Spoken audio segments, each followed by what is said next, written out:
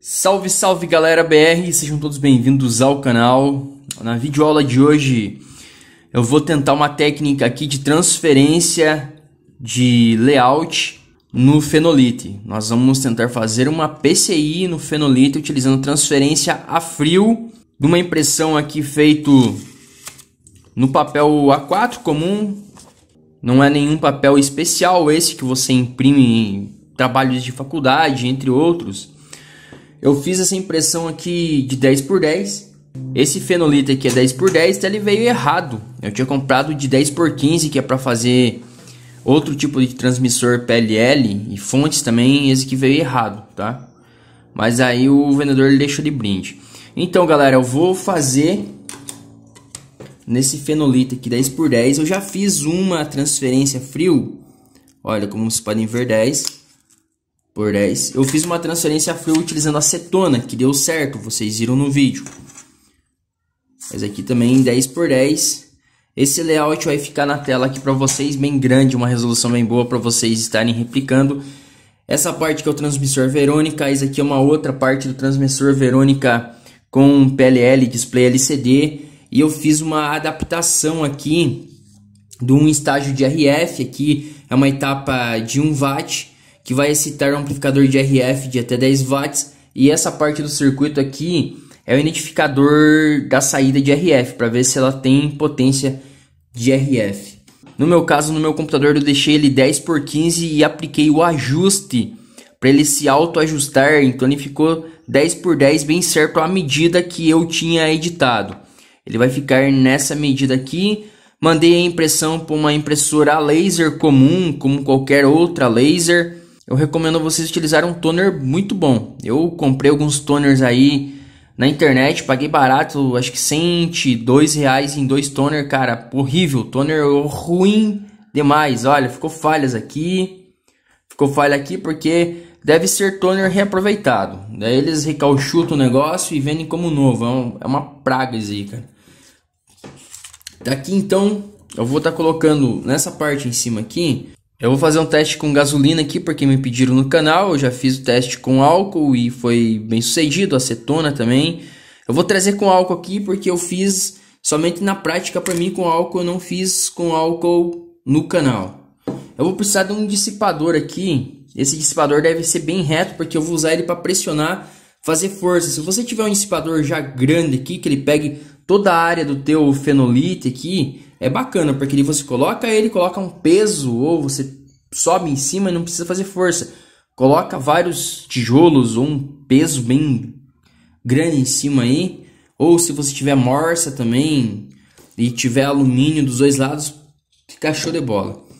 Um dos maiores problemas da transferência no ferro quente é que às vezes você vai passar e ele acaba mexendo o papel do layout em cima e acaba marcando, às vezes saindo fora fica horrível. Eu prefiro passar com ferro ainda, mas eu acho que com acetona ficou muito bom. Vocês viram o resultado. Eu vou passar uma lixa aqui mil, não é mil, é 2.500, pode ser 1.600, 1.200, 600 também. Só pra gente tirar essas impurezas aqui, galera. Deixar o fenolito ele bem brilhante aqui, para ele poder pegar melhor a tinta, o body toner. Ah, lembrando que tem um porém, eu nunca fiz com gasolina assim, me pediram, mas eu nunca fiz com gasolina assim, é frio. É que gasolina né, tem um pouco de lubrificante também nela. Ela é meio oleosa. Talvez tenha problema na hora de corroer o fenolito no percloreto. Por isso a gente tem que lavar bem depois a trilha, caso dê certo. Lavar bem a placa aqui, caso dê certo, ok? Pra ele pegar bem. Vou lixar, deixar bem lixadinho aqui passar um papel higiênico aqui para tirar os resíduos que ficou nesse pó de cobre. Que ele fica um pó de cobre aqui, ó, como vocês podem ver, resíduo na lixo. Então pode ser que ele fique aqui. Bom, depois que eu fiz isso, eu vou vir com o meu layout aqui. Se você quiser passar uma fita tal, eu recomendo porque daí você não vai ter problemas em é, ele vai ficar fixo no lugar, não vai ficar mexendo. Eu não vou passar aqui porque a última vez que eu passei, quando eu fiz com acetona, ele começou a desgrudar a fita. Talvez com ferro dê melhor, porque deu ferro quente. Em cima aqui não vai ter muito problema. Agora eu vou vir aqui, galera. Vou pegar e vou abrir esse tubo de gasolina. É um tubo de cola, mas eu coloquei gasolina. Coloquei gasolina, é, tá misturado lá, né? Eu tirei da moto. Gasolina aditivada, então não sei qual é que vai ser o resultado aqui, galera. Pode ver que tá meio verde. Eu espero que ele não comece a dissolver a tinta. Não sei se vocês estão conseguindo compreender, galera, que ele não dissolva. Olha, já começou a dissolver a tinta. Que a gasolina é muito forte, né?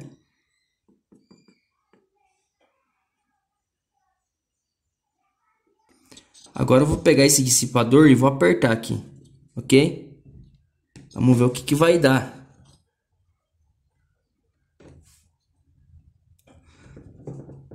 Qual é que vai ser o resultado desse negócio?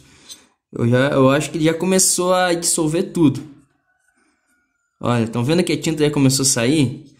Então, galera, não vai dar certo desta maneira mesmo.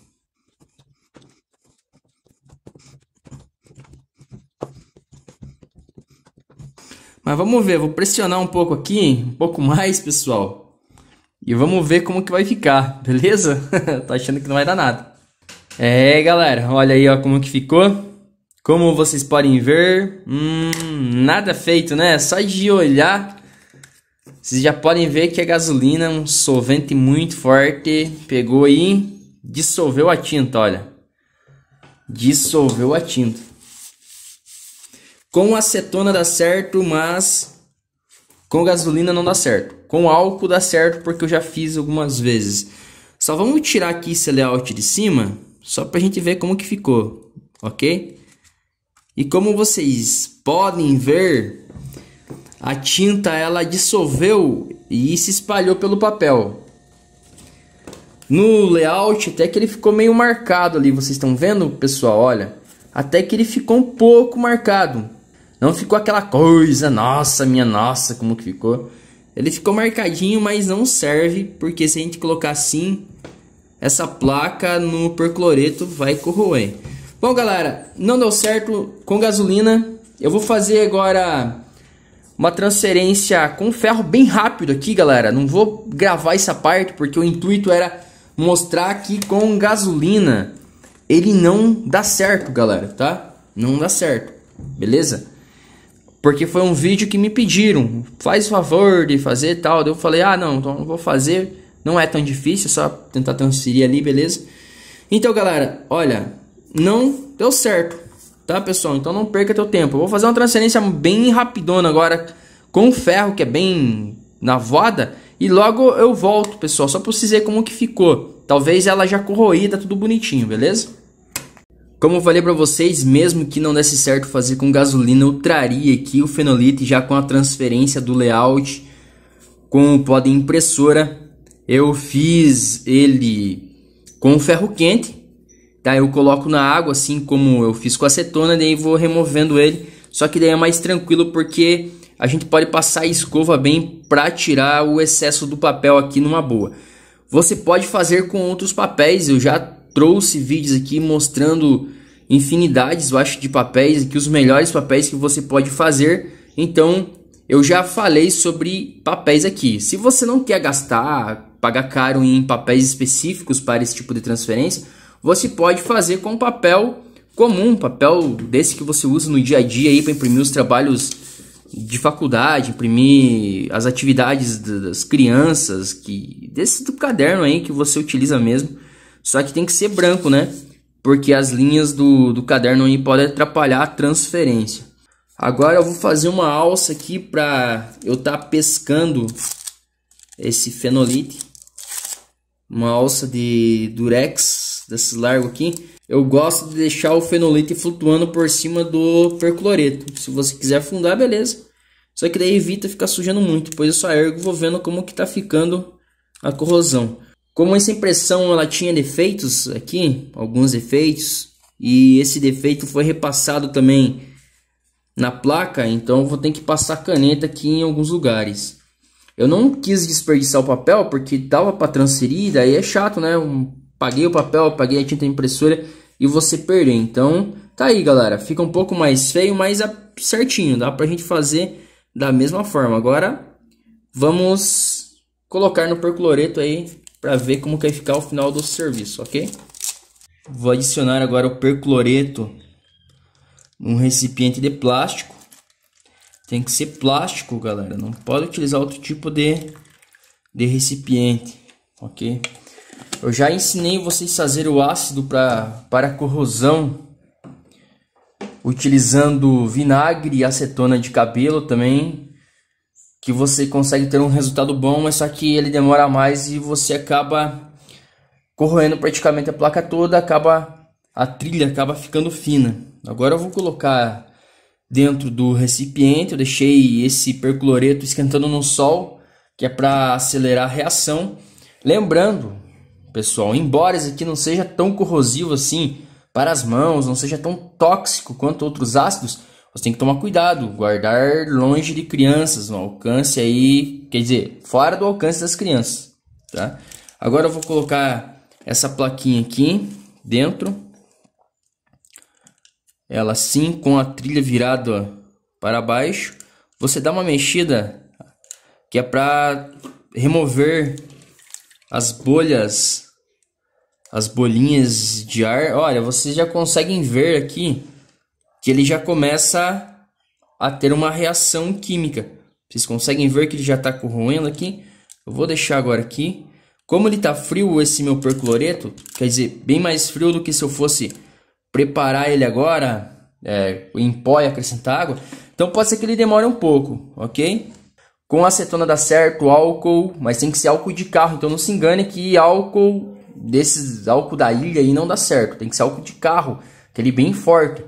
E gasolina não dá certo. Não tentei com thinner ainda, mas provavelmente ele vai pegar e vai dissolver a tinta da impressora. Nós sempre trazemos algumas dicas, porque se desse para fazer com gasolina frio, seria muito mais prático, porque gasolina a gente tem na casa aí com facilidade, a gente compra com facilidade, tira da moto, tira do carro. Álcool também dá certo, então álcool dá para fazer, eu vou trazer no próximo vídeo, porque eu não tenho álcool de carro aqui à disposição, galera, tá? O meu até acabou ali que uso na churrasqueira. Então, pessoal, logo eu retorno pra gente ver como que ficou essa plaquinha. Isso aqui foi feito no ferro quente, ok? Voltando com a placa já corroída, como vocês podem ver, eu vou até aproximar melhor aqui para vocês. Eu já dei uma lavada nela.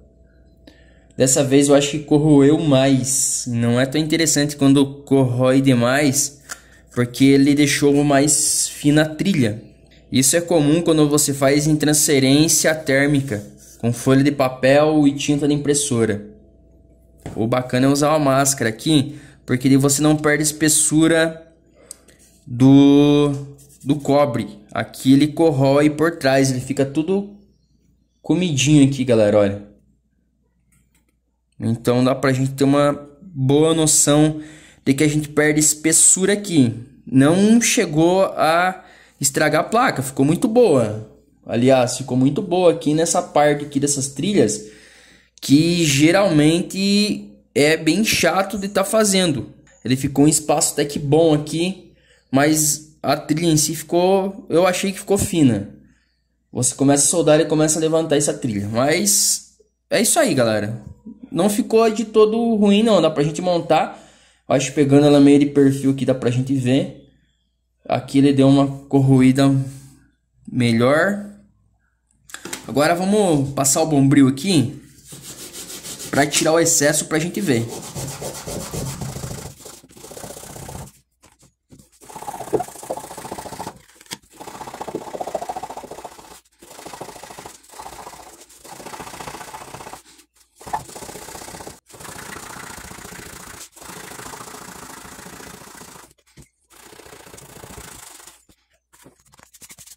Quando o percloreto está quente, ele corrói muito mais rápido aonde é para corroer aqui nos vãos entre, entre as trilhas. Quando ele está gelado, ele demora mais e ele acaba corroendo a parte da trilha. Aqui não ficou tão fino, mas só que se deixasse mais tempo, ele ia acabar corroendo bastante. Aonde tinha falha aqui, eu tinha passado nessa parte aqui, principalmente, eu tinha passado base de unha na parte, daí ele não acabou perdendo aquela parte da trilha. Só que eu esqueci de passar aqui. Aqui ele deu uma comida aqui no cobre. Mas ficou bom, galera. Ficou bem bom. O segredo de estar tá soldando, fazendo esses circuitos aqui, quando ele fica pequeno, essa placa, na verdade, tem que ser 15 15 por 10, ele fica mais largo. Só que o segredo para estar tá soldando essas trilhas mais finas aqui, galera, para não estar tá, é, estourando essas trilhas, por exemplo, pelo calor excessivo, é fazer com ferro de 30 watts, 35 watts, com uma ponta bem fina, um estanho bem fino, porque daí você não acaba comprometendo, como vai componentes que os terminais são bem bem finos bem delicados, então dá pra gente fazer com ferro mais, mais frio. Já se tacar um ferro de 40 watts em diante, ah, daí você acaba com a trilha. Mas ficou joia, galera. Uma tentativa de fazer PCIs com gasolina. Não deu certo, tá? Mas eu falei que iria fazer ela do mesmo jeito. Olha, ó. Ficou show de bola. Nós vimos esse vídeo de fazer transferência de layouts impressos na impressora a laser com toner não foi eficaz o nosso toner ele acabou dissolvendo na gasolina. Então não dá certo a transferência térmica a frio com gasolina. Portanto, não utilize gasolina para transferência a frio. Use acetona, álcool ou até mesmo o ferro quente. Se você quiser fazer de formas profissionais, tem os kits na internet aí que vão te agradar bastante. Ok? Se inscreva no canal, ative a notificação para estar recebendo vídeos novos, compartilhe o vídeo para estar ajudando o canal a crescer. Não esqueça de deixar aquele fantástico like. Até mais galera BR, tchau tchau.